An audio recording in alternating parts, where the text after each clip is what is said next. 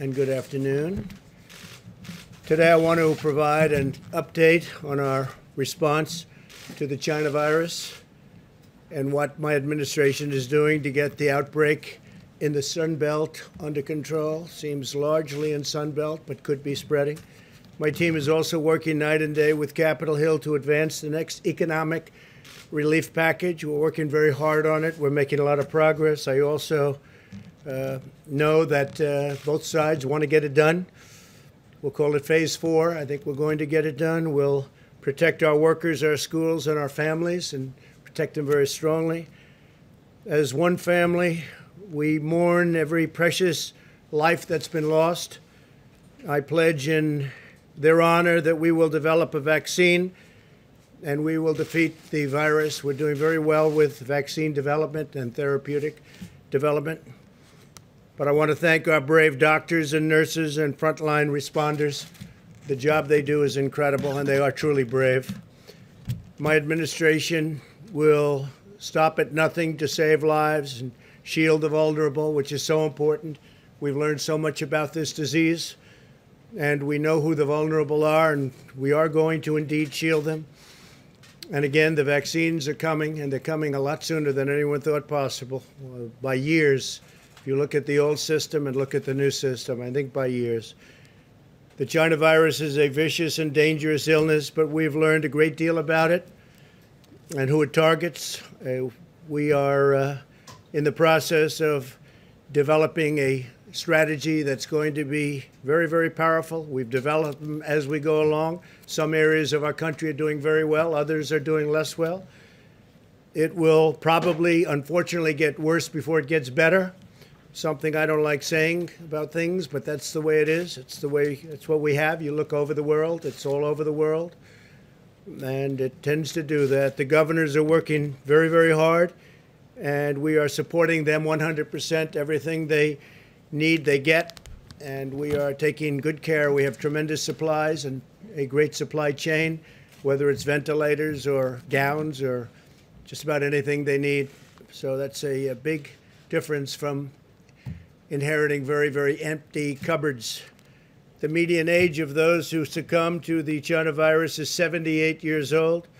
Roughly half of all deaths have been individuals in nursing homes or long term care. In one study, 90% of those hospitalized had underlying medical conditions, whether it's heart or diabetes, but usually it's uh, some kind of a condition. It seems that people have that, and if they do, it's a problem, no question about it. Young adults may often have mild or even no symptoms. They won't even know they're sick. They won't have any idea that they have a virus. They won't have any idea at all. America's youth will act responsibly, and we're asking everybody that when you are not able to socially distance, wear a mask, get a mask. Uh, whether you like the mask or not, uh, they have an impact, they'll have an effect, and we need everything we can get. Data shows children have the lowest fatality risk. 99.96% of all virus fatalities are in adults. Think of that. So that's uh, much, much, much less than 1% for children, young people. By understanding these risk profiles and learning how to treat the disease, We've been able to greatly reduce mortality in the United States. In fact, we'll show you a chart and uh, how well we do compared to the rest of the world. We have several treatments already available that significantly reduce the severity and duration of the disease, including remdesivir, which has been very successful and a widely available steroid treatment. And we have many more happening and coming out. We've learned best practices for treatment of the virus at every stage and have shared these findings with medical providers, and we've shared them all over the world. The relationship with other countries has been very strong. We're all working together. This includes ensuring all hospitals are aware of the importance of different approaches to oxygen treatment, including high flow oxygen, the importance of steroid treatment for those on ventilators, and when you're on a ventilator, uh, we've learned a tremendous about the use of the ventilator. And uh, at the beginning, people never had an experience like this. where we needed so many ventilators so fast, and even the use of the ventilators. But the doctors have become incredibly, and nurses and helpers have become incredibly good at the use of a ventilator, which is actually a very complicated procedure, and allocating remdesivir to hospitals based on new admissions since it works best early in hospitalization. And that's something that they've really started. They're using it much earlier. Fatalities nationwide have fallen 75% since mid April. That's a great number. As cases and fatalities rise in certain hard hit states, which you're looking at right now, we're surging personnel, supplies, and therapeutics. We again have tremendous amounts of supplies. We are in very good shape and we can move them quickly. Our case fatality rate has continued to decline and is lower than the European Union and almost everywhere else in the world. If you watch American television, you think that the United States was the only country involved with and suffering from the China virus. Well, the world is suffering very badly. But the fact is that many countries are suffering very, very, very badly. And they've been suffering from this virus for a long time. We've done much better than most. And with the fatality rate at a lower rate than most, it's something that we can talk about. But we're working again with them because we're helping a lot of countries that people don't even know about. I get calls all the time asking for help especially as it pertains to the ventilators. They need help with ventilators. They have to get them. They're very hard to get. We're making thousands now a month, thousands of ventilators a month. It's been quite amazing. We keep doing the good job, and things will get better and better. We'll be putting up charts behind me showing uh, different statistics and different rates of uh, success, and I guess you could say also uh, things that we can do better on but you'll see them. They'll be put up as we go. In April, the average age of individuals who tested positive for the virus was over 50 years old. Today, the average age is significantly younger. Hospital lengths of stay are almost half of what they were in April. So the stays are about half. The rate of cases requiring hospitalization has been reduced, and mortality among those admitted to the hospital is nearly one half of what it was in April. We've learned a lot.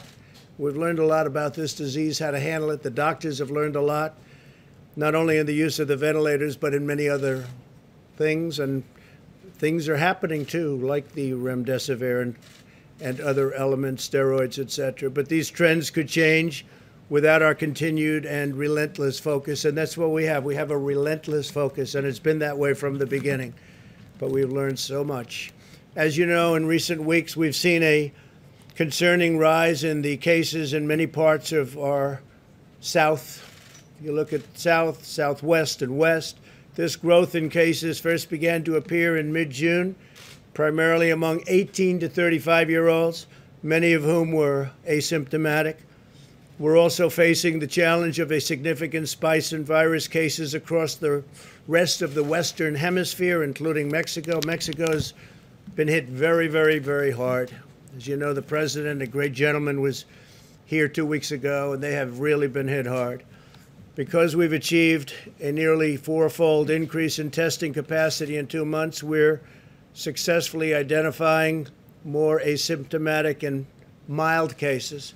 Some cases so mild that you really don't even treat them. Some cases uh, with children where they don't even know that they're ill and I guess they're not very ill because they recover almost immediately. Per capita, the U.S. is conducting 50% more tests than Europe, and we've conducted nearly three times as many tests as all of the other countries in the Western Hemisphere combined. Be over 50 million tests. This allows us to isolate those who are infected, even those without symptoms, so we know exactly where it's going and when it's going to be there we're also working to reduce turnaround time. My administration has been aggressively responding to case growth in the Sun Belt, and we continue to do so, working very close with all governors, but right now, in particular, those governors. We're coordinating closely with hospitals and governors. In the last three weeks, I've sent senior officials into nine states to meet with governors and provide recommendations to the various leaders of the state, including hospital administrators, etc. My administration currently has zero unfilled requests for unfulfilled requests for uh, equipment or anything else that they need from the governors. No governor needs anything right now, and we think we'll have it that way till the end because, frankly, we are stocked up and ready to go wherever we have to go. We've nearly 7,000 National Guard and military medical personnel in Texas, California, Florida, and Arizona that's helping us greatly. I want to thank them very much. The military has been fantastic. We're closely monitoring hospital capacity in these states. Hospitals are open for elective surgeries and other procedures. So hospitals are open for elective surgeries. We want Americans to get the medical treatments they need. All of the governors we've spoken with say they have enough bed capacity. That's a great thing.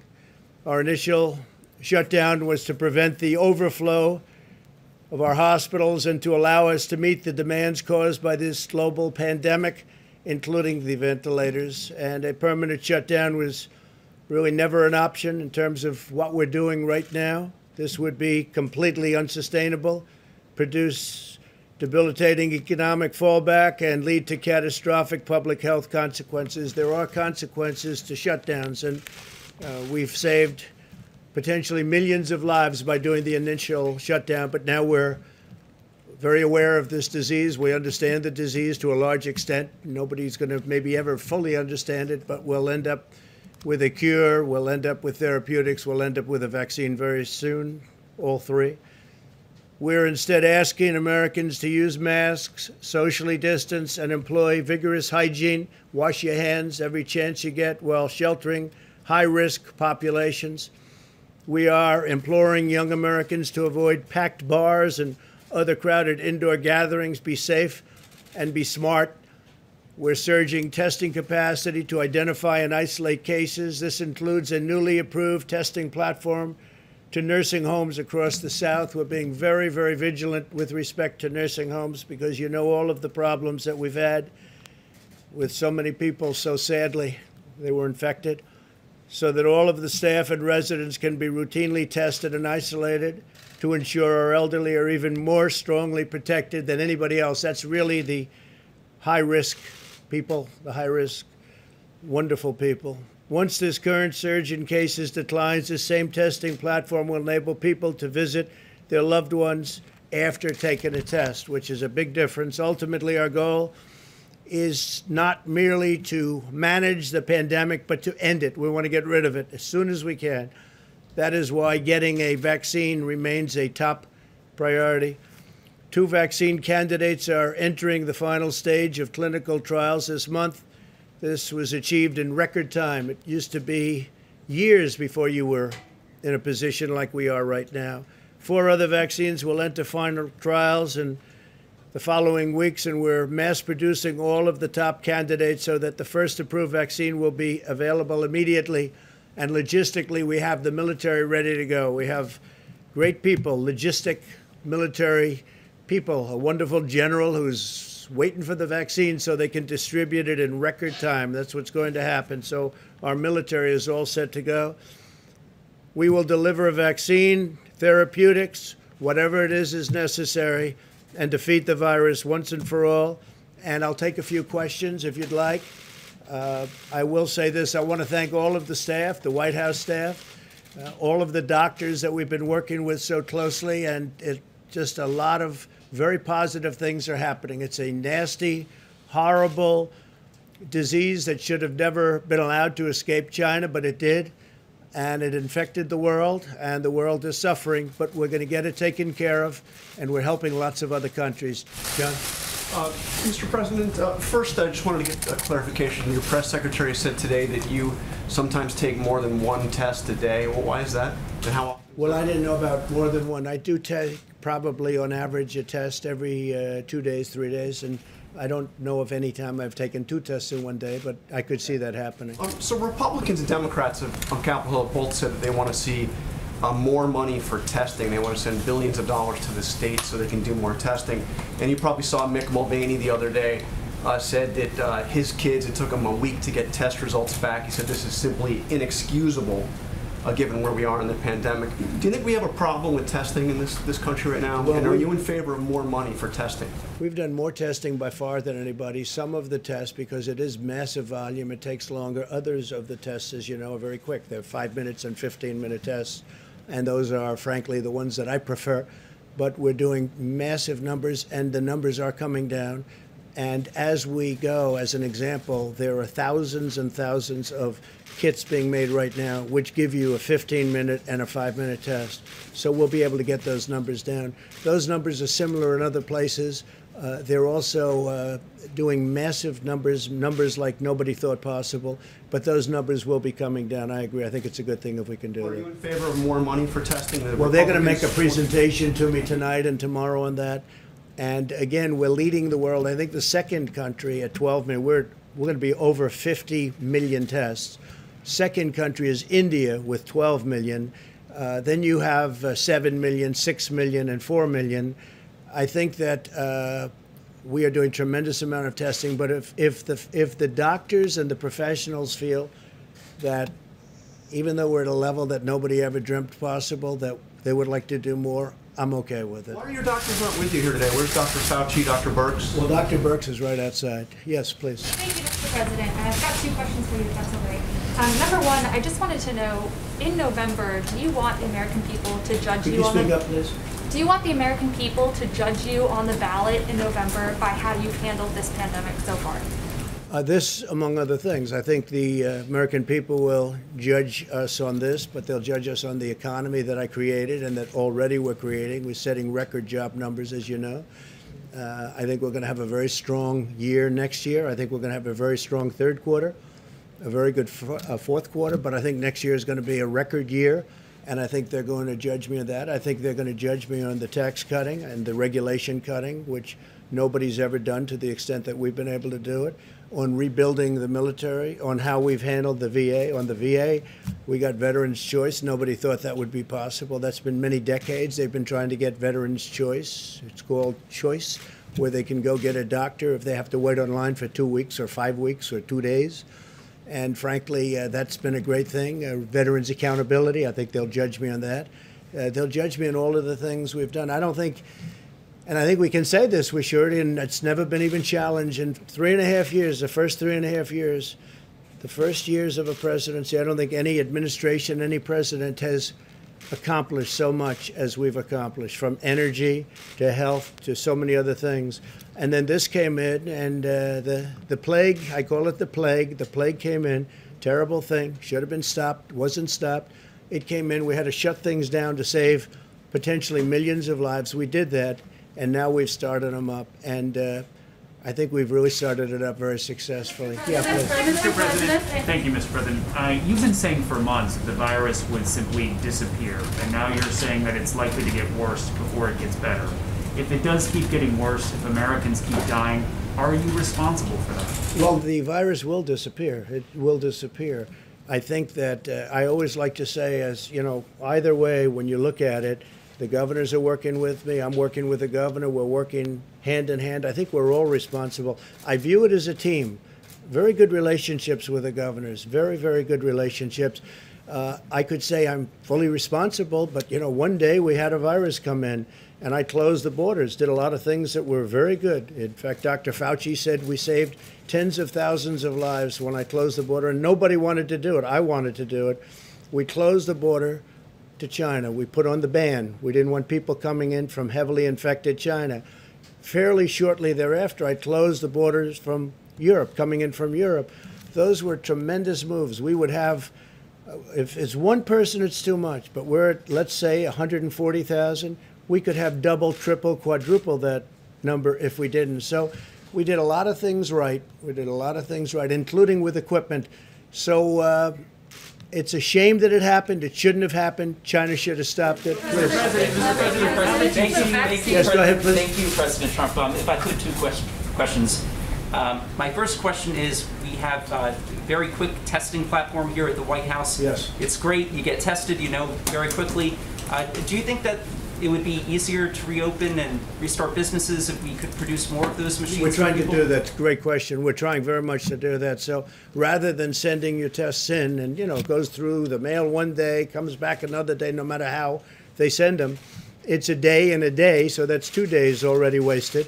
And then if it spends by the time you get it back, it's three or four days if they do an efficient job. We're trying to get the testing on site.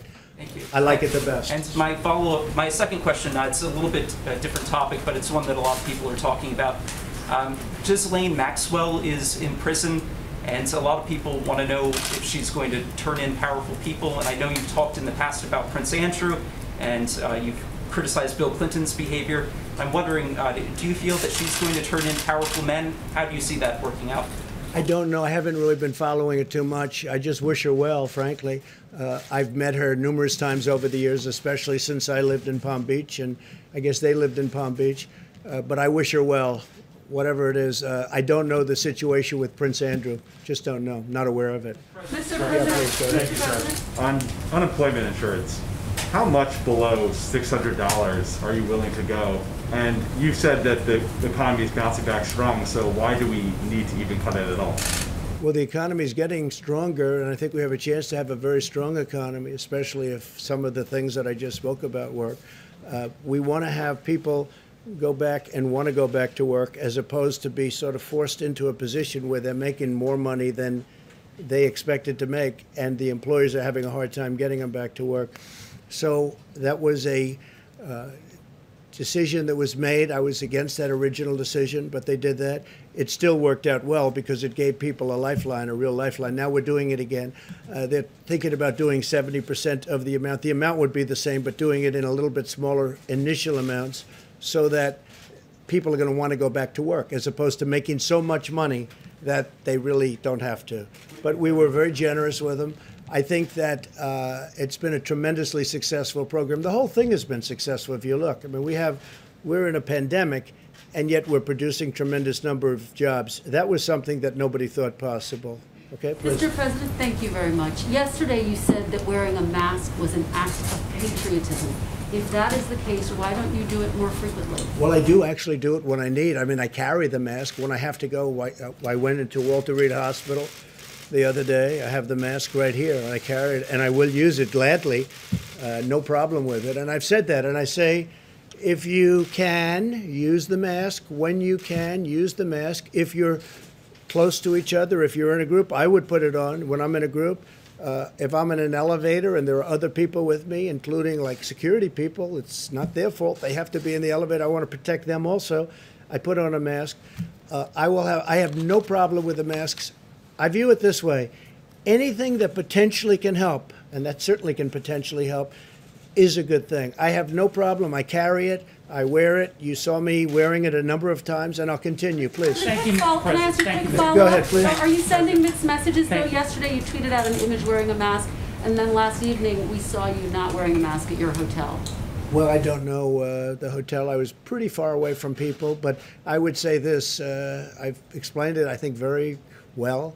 Uh, if you're close together, I would put on the mask, and if you're not, I would say that if you're, for instance, I'll see, like here, you've been all tested, I've been tested. Oftentimes, I'll be with people that are fully tested, I've been tested. In theory, you don't need the mask. I'm getting used to the mask, and the reason is think about patriotism. Maybe it is, it helps. It helps. Now, we have experts that have said in the recent past that masks aren't necessarily good to wear. You know that. But now they've changed their mind. If they change their mind, that's good enough for me. So I wear it when appropriate. Please. Thank you, Mr. President. Thank you, sir. Um, A lot of Americans, though, may be surprised at your change of tone over all of this, a more perhaps realistic tone, some would look at it that way. The sudden embrace of masks, social distancing, the, uh, Well, I've always agreed with that. I mean, I've never fought either one, but certainly social distancing. I want to. It's, it's that's common sense. Six feet to me is common sense. I'd like to say maybe make it a little bit further. the idea that uh, things will get worse perhaps before they get better here, and perhaps the realization that this resurgence, if you will, is for real when you used to talk about it in terms of little fires being put out here and there. Would We you have them respond to too. that? No, we have embers and fires, and we have big fires, and unfortunately now Florida is uh, in a little tough uh, or in a big tough position. Uh, you have a great governor there. You have a great governor in Texas. You have people that are very, very skilled people, and I think they're going to handle it very well. Uh, their hospital capacities are holding up, but Texas is a big state and it's very well run, and so is Florida. And I think they'll do a very good job. You changing your tone, though, sir? I just go wanted to ask you about the issue of vaccines, which you already mentioned. Um, yesterday, a study by a Chinese company showed some promising results for its coronavirus vaccine candidate.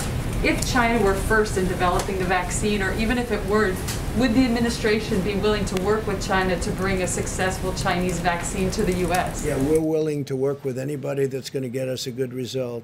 We're very close to the vaccine. I think we're going to have some very good uh, results. We're already in testing. Nobody thought that would be possible. Under the old system, it would be a year to two years before you could even think about using the word testing. So I think we've had a lot of, uh, and, and the reason we're testing, I mean, they've had good results. So now we have to see in the testing also for safety, because they have to make sure it's safe. And I think you're going to see something over the next fairly short period of time, maybe very short period of time, having to do with therapeutics and vaccines that are very good. So we'll be doing these quite often. We're going to keep you abreast of this, and we'll also talk about some of the other topics like our economy, which is doing well. The stock market had another good day.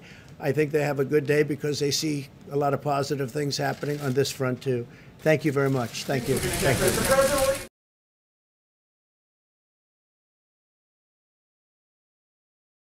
All right, folks, thank you so much for joining us here at Golden State Times. If you guys liked our coverage, make sure you click the thumbs up button and also make sure you share this video on social media. Don't forget to click the thumbs up button that helps out the channel a lot. And also don't forget to say hello in the chat. If you're new to the channel, we encourage you to subscribe and click that notification bell. If you want to get notifications from us instead of YouTube for President Trump future speeches, press conferences, press briefings, and stuff like that, all you have to do is text the word Trump Live to the number 555 888. Once again, text the word Trump Live to the number 555 888 to get future uh, notifications for live streams of rallies, speeches, press conferences, and everything else in between. Thank you so much, folks. Follow us on Twitter at Gold State Times and follow us on Parler at Golden State Times. Have a good night, everyone, and we'll see you soon. Peace.